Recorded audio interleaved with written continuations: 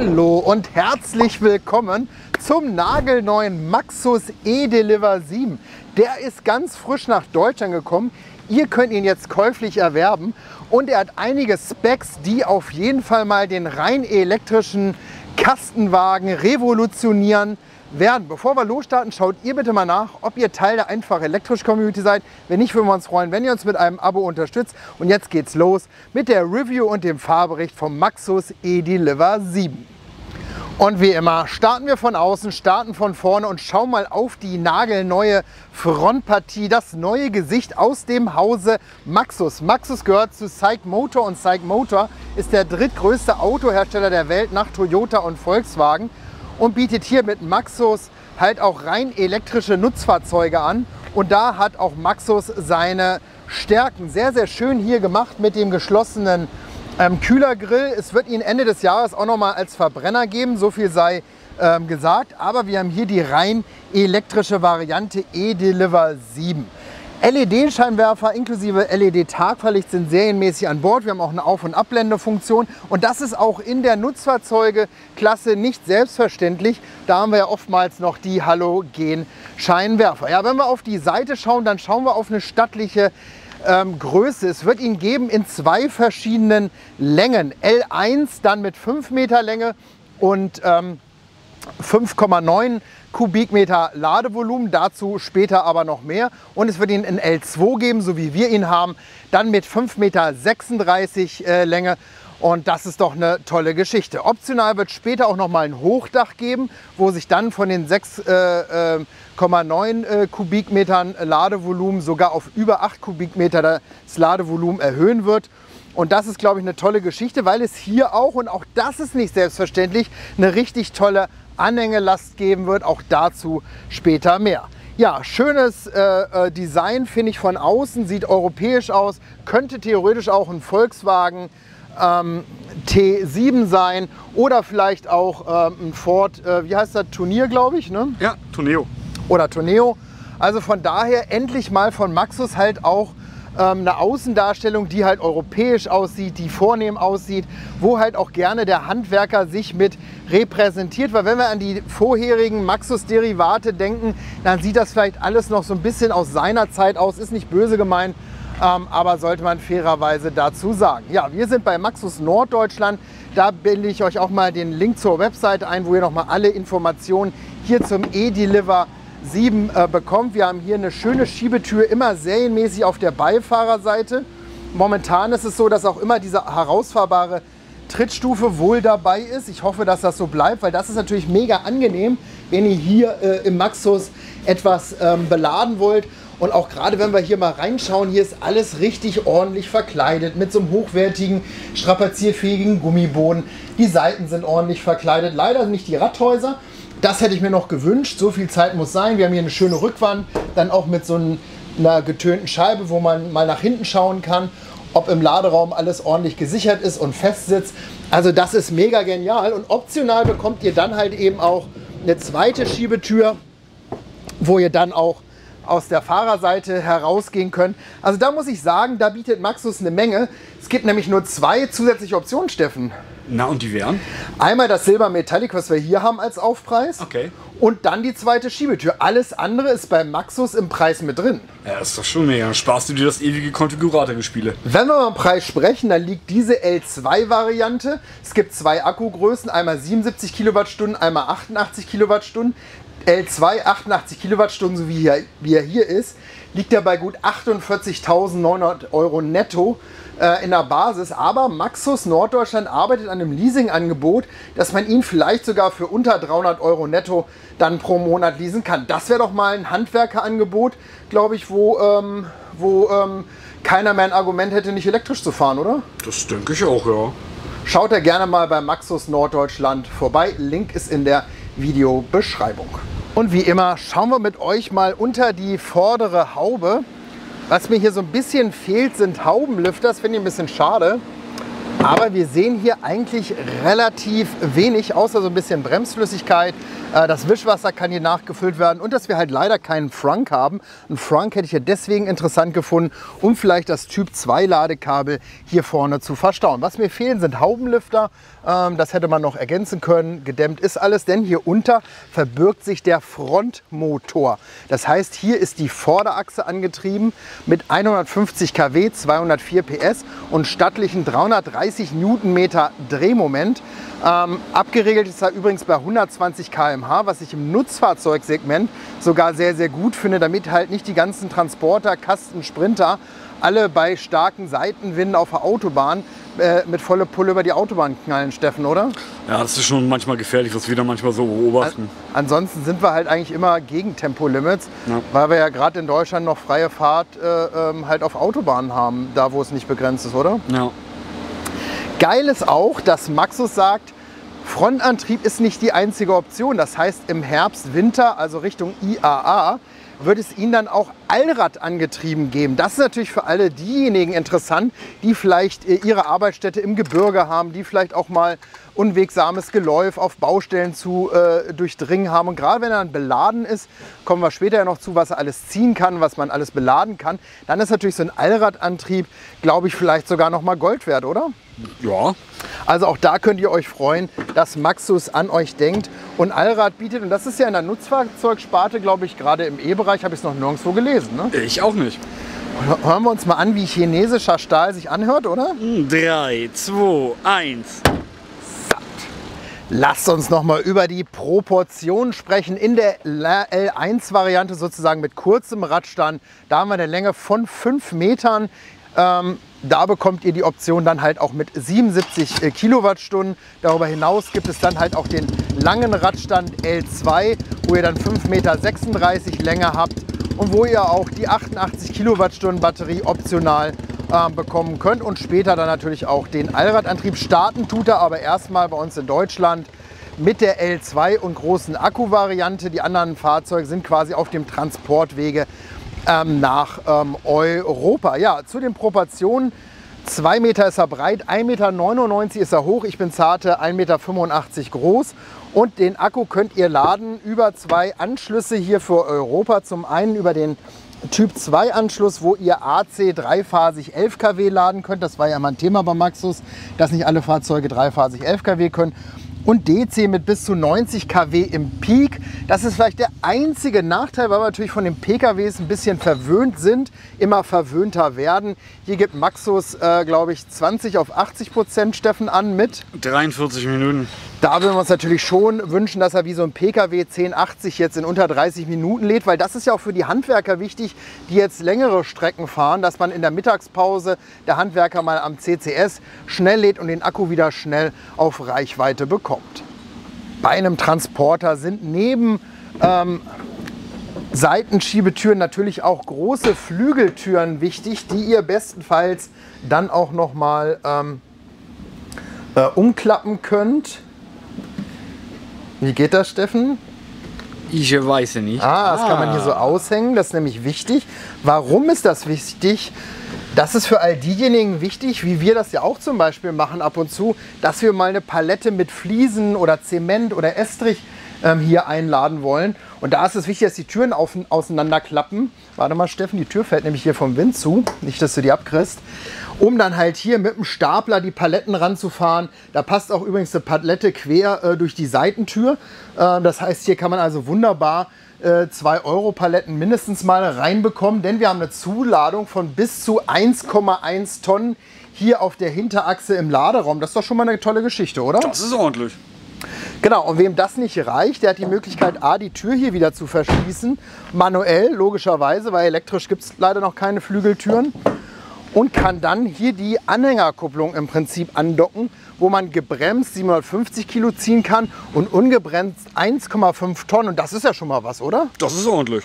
Also wenn man sich das dann noch vorstellt, dass man dahinter noch mal 1,5 Tonnen gebremste Anhängelast ähm, ziehen kann, dann wird der ähm, Maxus E-Deliver 7 zu so einer richtigen Transportwaffe, oder? Absolut, so Allzweckwaffe, ne? Und ich habe das Gefühl, er geht da auch so ein bisschen über die Möglichkeiten der Wettbewerber hinaus. Ne? Also da bietet er schon noch mal so von allem so ein klein bisschen mehr. Und das insbesondere auch, das werden wir sehen, im Innenraum. Außen haben wir euch alles gezeigt. Lasst uns mal nach innen schauen. Erstmal prüfen wir, ob wir hier Einfach- oder Doppelverglasung haben. Wir haben Einfachverglasung, wie es sich für einen Transporter gehört. Wobei so zwei Scheiben mit einer Folie verbunden wäre auch nochmal ein Highlight, oder? Ja, super.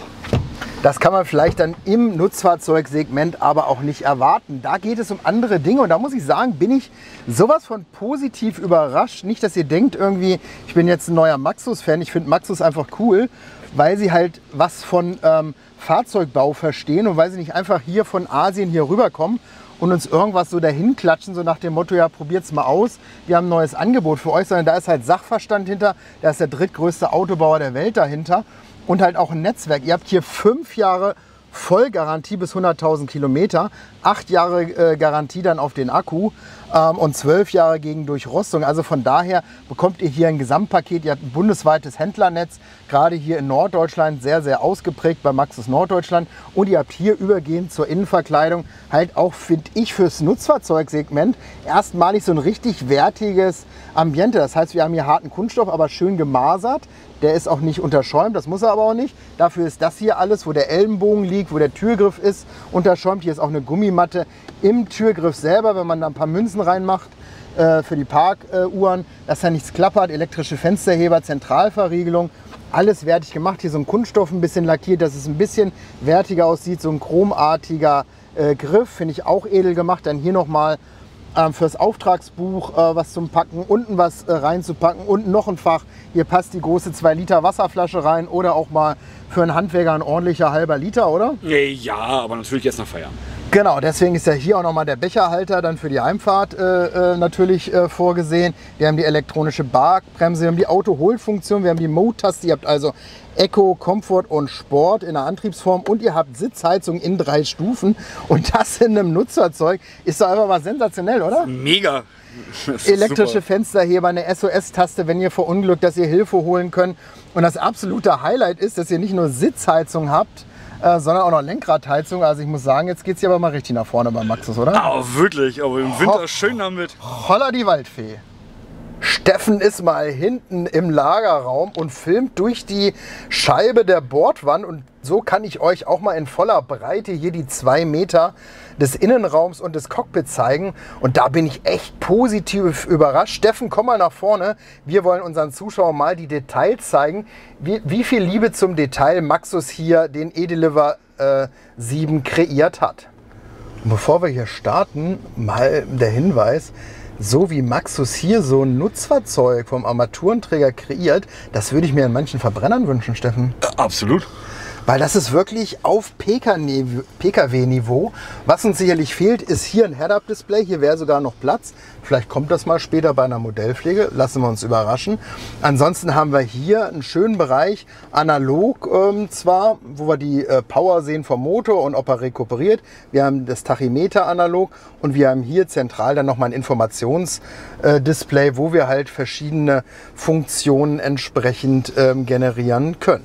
Haben hier ein richtig schönes Kunstlederlenkrad, was sich richtig geil haptisch anfühlt. Ähm, also wirklich sehr, sehr edel mit haptischen Tasten, die sich gut bedienen lassen, die ergonomisch genial angeordnet sind. Und wir haben hier an Bord eine Armada an Assistenzsystemen, also angefangen vom Abstandsregeltempomaten über Spurhalteassistenten, Notbremsassistenten, äh, Totwinkelwarner, also eigentlich all das, was wir heutzutage aus PKWs kennen, ist hier an Bord, inklusive Lenkradheizung, inklusive Sitzheizung. Da muss ich mal ein dickes, fettes Lob ansprechen. Und da setzt Maxus eigentlich in dieser Klasse einen völlig neuen Maßstab, oder? Richtig, das machen sie wirklich gut. Ja. Wenn das auch noch alles funktioniert, super. Weil natürlich können das auch unsere deutschen Hersteller von Mercedes dann im Vito oder ähm, ähm, im Tourer. Klar kann das sicherlich auch Volkswagen, dann im ID-Kasten, ID-Bus. Aber da ist natürlich auch eine elendig lange Aufpreisliste ähm, dahinter. Und da, glaube ich, hat Maxus hier mit äh, 48.090 Euro netto beginnt und dann hoffentlich interessanten Leasingkonditionen. Aber schon so einen kleinen Wettbewerbsvorteil, oder? Das würde ich auch so sehen. Und gerade wenn wir dann hier nochmal zum Infotainment kommen, haben wir hier ein sehr, sehr schönes großes Display, wo ihr dann diverse Möglichkeiten habt, bis hin zur 360-Grad-Kamera. Ihr habt immer die Home-Taste, da kommen wir nämlich später nochmal beim Einparken zu. Und habt hier dann nochmal die Auswahlmöglichkeit und habt hier sämtliche Fahrzeuganstellungen. Und das zeige ich euch hier nochmal im intelligenten Antrieb, dass ihr im Prinzip hier Frontradar, Einparkhilfe habt, ähm, habt hier F- Fahrzeugüberwachung, habt Tempolimit, Erinnerung, dass ihr nicht zu schnell fahrt, den Totwinkelassistenten, den Spurhalteassistenten, die Kollisionshilfe, dass ihr nicht mal unachtsam irgendwo jemand drauf fahrt und diverse weitere Optionen, ähm, die euch das Leben hier versüßen sollen. Ja, ihr habt natürlich auch die Möglichkeit, neben Radio über Bluetooth und USB Music ähm, euren Media Player hier reinzubekommen. Und absolutes Highlight ist dann aber, finde ich, Apple CarPlay und soweit ich weiß auch Android Auto. Dann über USB-C-Kabel verbunden übers gesamte Display. Und das ist doch einfach mal mega genial, dass man hier sein Telefon auch in einem Nutzfahrzeug spiegeln kann, oder? Absolut. Gerade für die Leute, die hier durch Hamburg fahren zum Beispiel ne? und eine Adresse suchen, nicht kennt ja keiner die ganzen Adressen hier. Perfekt. Was auch genial ist, ist, dass wir hier eine Klimaautomatik haben. Das heißt, wir können hier äh, sehr, sehr schön dann halt auch die Klima über das Touch-Display entsprechend regeln, inklusive Fahrer, Beifahrer, Temperatur, Umluftregelung automatisch, äh, Klimaanlage und, und, und. Habt ihr aber auch nochmal Schnellwahltasten, wenn ihr mal schnell äh, während der Fahrt äh, da die Temperatur ändern wollt. Also da gibt Maxus, finde ich, richtig Gas. Ja, für die Raucher, Steffen, ne? Ich würde ja sagen, das nehmen wir einfach hier raus. Dann hat man nämlich ein schönes großes Ablagefach, weil Rauchen ist natürlich auch nicht gesund. Ich habe ja auch aufgehört zu rauchen und fühle mich danach auch wesentlich besser, Steffen. Das ist schön, ja. Aber lasst uns mal hier zu den Details kommen. Hier haben wir einen harten Kunststoff, der ist aber schön gemasert und fühlt sich auch wenigstens weich an. Haben hier ein Kunstleder, schön mit der Naht. Manuelle Lüftungsdüsen, hier wieder so ein Kunstleder mit der Naht. Klar, hier haben wir Klavierlack, das zerkratzt schnell. Ähm, äh, das sieht immer leicht mal so ein bisschen speckig aus. Aber wir haben es wenigstens, haben hier ein schönes großes Handschuhfach. Was hier vielleicht fehlt, ist ein kleiner Filz. Äh, aber auch das kann man halt im Nutzfahrzeugsegment äh, dann ähm, äh, mal übersehen. Ja, und ansonsten haben wir hier im Prinzip ähm, dann nochmal einen Rückspiegel, der eigentlich keine Funktion hat, weil er sich in der Trennscheibe widerspiegelt. Und was wir natürlich irgendwie hier so fehlend haben, ist irgendwie so ein kleiner Kosmetikspiegel, oder? Ja, das wäre schon schön, ne, wenn man sich so nach einem harten Tag auf der Baustelle noch mal ein bisschen äh, hübsch machen kann. Ja, so den Kajal noch ziehen oder so als Maurer. Ne? klar. Nein, Spaß beiseite, klar. Wahrscheinlich ist ein Kosmetikspiegel jetzt nicht irgendwie das Nonplusultra, aber man kann ja auch hier den schönen Spiegel dann mal für sich ranholen und ähm, halt mal gucken, ob die Frisur sitzt. Last but not least nochmal der Blick durch die Beifahrertür hier in den Innenraum. Und da, finde ich, hat Maxus auch äh, wieder hochwertige Materialien verwendet. Wir haben einen sehr, sehr schönen Stoffbezug, auch mit so ein paar weißen Punkten. Das ist alles edel verarbeitet. Klar könnten wir hier vielleicht ein bisschen mehr Lennenunterstützung erwarten, aber es ist alles schön äh, gepolstert, fest gepolstert. Man sitzt hier komfortabel, das Fahrwerk ist ordentlich straff komfortabel. Also das ist alles europäisches Niveau. Wir haben den äh, Griff zum Ein- und Ausstieg dann auf der Beifahrerseite und wir haben hier auch wieder so einen, so einen Gummiboden, der aber auch eine gewisse äh, Weichheit in sich hat, ähm, der schön rutschfest ist und den man halt gut reinigen und pflegen kann, ähm, glaube ich, um das Ganze dann halt auch sauber zu halten. Und so eine doppelte Sitzbank, dass man mit drei Personen hier mal reisen kann, ist auch okay, ne? Ja, das ist okay. weil die nötige Breite hatte und der Fahrrad ist natürlich noch mal ein bisschen komfortabler hier mit der äh, mittelarmen Lehne. Außen haben wir euch alles gezeigt, innen haben wir euch alles gezeigt. Kommt mit, steigt ein. Wir wollen zum Fahrbericht kommen und schauen, wie sich der Maxus E-Deliver so fährt. Wir sind losgestartet mit dem Maxus E-Deliver 7 und man merkt, finde ich, gar nicht, dass man in so einem Nutzfahrzeug sitzt. Ne? Nö, also er schaukelt zumindest nicht so doll, wie ich gedacht hätte. Man sitzt so schön erhaben wie in so einem SUV, hat so die komplette Übersicht, ähm, als wenn man auf so einem Thron sitzt. Ne? Ja, ja, klar, man hat, schaut mal schön die Übersicht, das ist doch super. Und was Maxus auch hinbekommen hat, ist, dass diese 150 kW, 204 PS mit den 330 Newtonmeter Drehmoment schön spontan am Gas hängen. Ne? Also ich kann hier schon äh, mal aufs, aufs Strompedal treten und es passiert was. Ne? Ja, das ist doch schön, 330 Newtonmeter, das geht. Klar wird sich das ändern, wenn das Auto dann natürlich voll beladen ist und da ist vielleicht dann sogar der Allradantrieb äh, interessant, wenn man häufig schwere Lasten äh, transportiert, respektive insbesondere dann ähm, vielleicht auch zieht. Ja, was Maxus mit an Bord? Hat, ihr habt es eben kurz gehört, ist auch eine Verkehrszeichenerkennung, die überraschend genau funktioniert, oder? Ja, und auch ein bisschen nervig ist, wenn man mal so 2 km/h drüber ist. Wobei ich ja wirklich ein Freund davon bin, sich auch an Geschwindigkeitsbegrenzung zu halten. Ne? Absolut. Also das ist ja auch so eine Unsitte geworden, dass irgendwie jeder jetzt so gefühlt auch in einer Stadt, wo auch hier Kindergärten, Schulen sind, wie hier bei Hamburg ähm, halt auch viele Radfahrer am Deich unterwegs sind, dann halt einfach mal irgendwie 20, 30 zu schnell fahren in der Orts. Finde ich jetzt nicht so sexy, oder? Nee, aber die Herren von der Staatsmacht haben da auch ein Auge drauf. Sehr gut. Wir haben für euch mal den Abstandsregeltempomaten eingeschaltet und der funktioniert sogar bei 30 km/h. Das finde ich richtig klasse, dass das so ist. Ihr seht, er reduziert jetzt auch die Geschwindigkeit, weil wir auf ein Hindernis fahren. Ich ähm, fahre den jetzt und wenn wir aus dem Radar raus sind, bisschen ähm, stackativ, sieht er das, merkt er das und äh, beschleunigt wieder auf die eingestellten 30 km/h. Ich weiß, dass einige von euch da sehr viel Wert drauf legen, weil ich glaube, beim Opel Corsa war das nämlich nicht so. Ne? Der konnte irgendwie nicht 30 km/h im Abstandsregeltempomaten fahren. 40. Ab 40 war das, genau. Und das ist natürlich wichtig bei so einem Nutzfahrzeug, weil man halt viel äh, städtischen Verkehr fährt, wo häufiger mal 30 sein kann.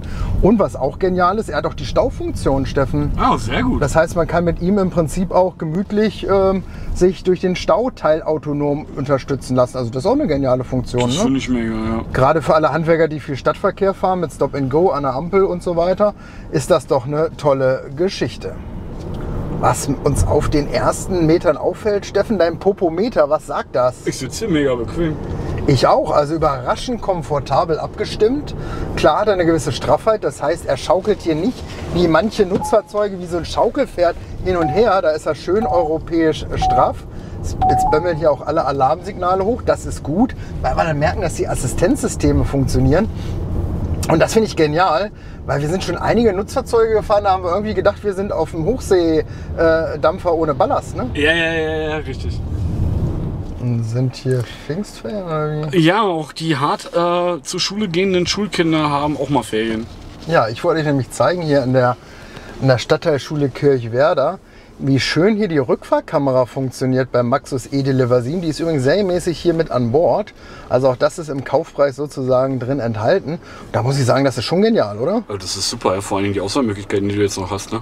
Genau, auch gerade wenn wir jetzt hier im, im, im Vorwärtsgang äh, schalten, haben wir halt eben auch eine Frontkamera inklusive Hilfslinien. Wir haben hier sehr schöne Seitenkameras, wo wir dann halt auch neben dem ähm, Kasten sehen, was da ähm, halt ähm, entsprechend äh, passiert. Und wenn wir dann losgestartet sind, dann bekommen wir nochmal so eine, so eine Top-View, glaube ich. Ne?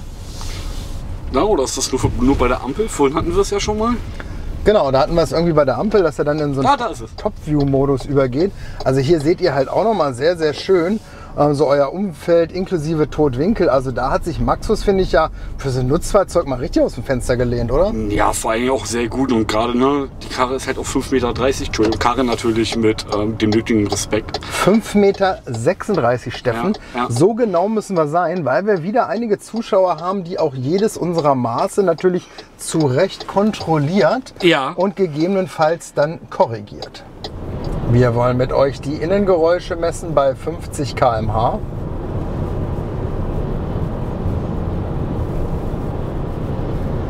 ...62, 63, 64 Dezibel, das ist ein ordentlicher Wert, mal zum Vergleich. Ein gedämmter ID3 äh, neuerer Generation hat er 60, 61 Dezibel.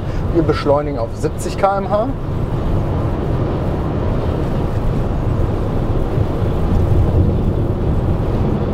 ...69, 70 Dezibel, das ist ein guter Wert, das ist vergleichbar mit dem ID3 und wir beschleunigen auf 100 km/h.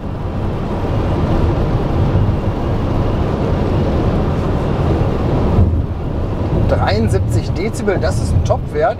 Da liegt ein ID3 bei Mitte 70 Dezibel. Also da muss ich sagen, das ist wirklich ordentlich gedämmt und für ein Nutzfahrzeug auch nicht gewöhnlich, oder Steffen? Äh, ja, vor allem steht ja auch ein bisschen höher im Wind, ne, mit seinen 2 Meter Höhe knapp. Ja, da ist das in Ordnung. Was wir fairerweise dazu sagen müssen, dass wir immer so leichte Windgeräusche hier über den großen Außenspiegel, über die A-Säule haben. Das haben wir auch schon bei anderen Maxus-Derivaten feststellen können. Wir werden euch auch noch In einem zweiten Video dann später mal den E-Deliver 3 äh, und den E-Deliver 9 zeigen. Das sind ja auch zwei äh, sehr schöne Maxus-Derivate, wenn ihr im Prinzip einen Kastenwagen eine Nummer kleiner, respektive eine Nummer größer vielleicht sucht. Ganz wichtig ist, dass wir natürlich auch mal die 0-100 beschleunigen. Steffen, gib Gas mal einen Countdown. 3, 2, 1, go! Und da braucht er eine Gedenksekunde. Jetzt ist er losgestartet. 40, 60, 80 und die 150 kW regeln und 100. Ja, entspannte 11,16. Aber muss ich dir sagen, ist doch für so einen großen Kastenwagen mit der Stirnfläche, heute ist auch mal ein bisschen windig hier bei Hamburg, ein Top-Wert, oder? Ja, ist okay. Nur reicht. Kommst, kommst du auch mal schnell von der Ampel weg. Äh, Ich hatte extra auch in den Power-Mode geschickt, weil die Äh. Jungs von Maxus Norddeutschland haben ganz selbstlos gesagt, Mensch Olli, mach da auch mal mit unserem Maxus Nutzfahrzeug mal einen Launch, weil du wirst sehen, der kommt gut vom Fleck. Und da muss ich sagen, bin ich auch wirklich ähm, beeindruckt. Und auch auf unwegsamem Geläuf. Die Straße ist ja hier so ein bisschen holperlich und huppelig, macht das aber ordentlich und immer noch so straff komfortabel, oder? Ja, es ist angenehm. Man rutscht hier auch nicht hin und her oder so. Das ist okay.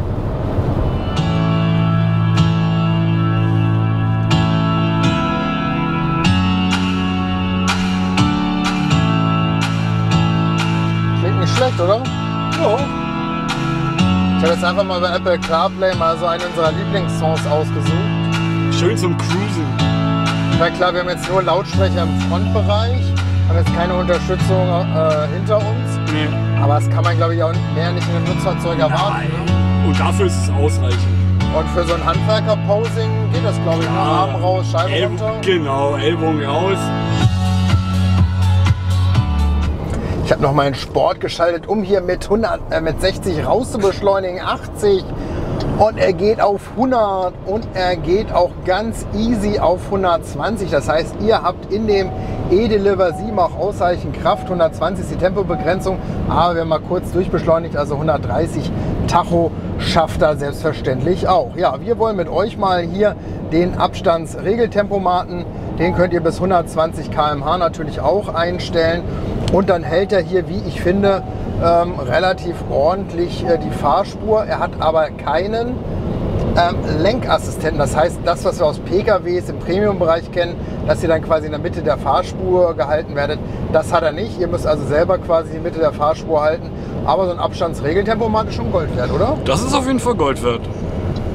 Lasst uns zum Fazit kommen mit dem Maxus E-Deliver 7, der neuesten Derivat aus dem Hause Maxus, was jetzt endlich na, bei uns nach Deutschland gekommen ist oder zu uns nach Deutschland gekommen ist.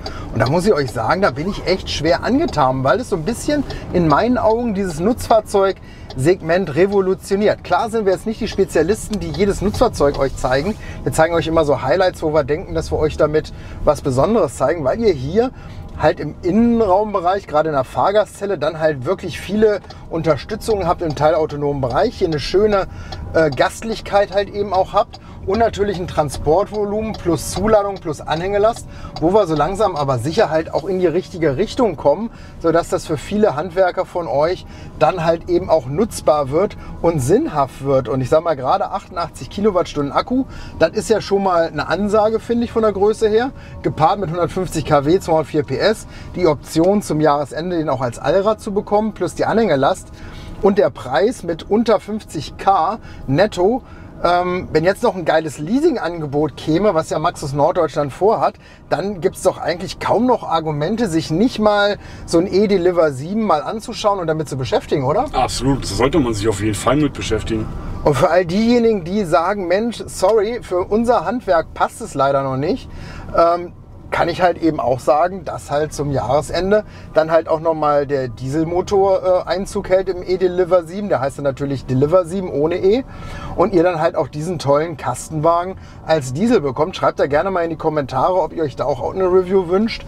Ähm, weil Maxus ja so momentan leider noch eher so ein, eine Nischenmarke vielleicht im Nutzfahrzeugsegment ist und eher was so als Geheimtipp. Und deswegen haben wir uns ja auch bewusst äh, Maxus rausgesucht, um euch auch mal an die geheimen, ähm, jetzt nicht mehr geheimen, tollen Dinge heranzuführen, Steffen, oder? Ja, wir sind ja immer im Dienste der Community unterwegs, um euch Immer. die Nischen zu zeigen. Tag und Nacht.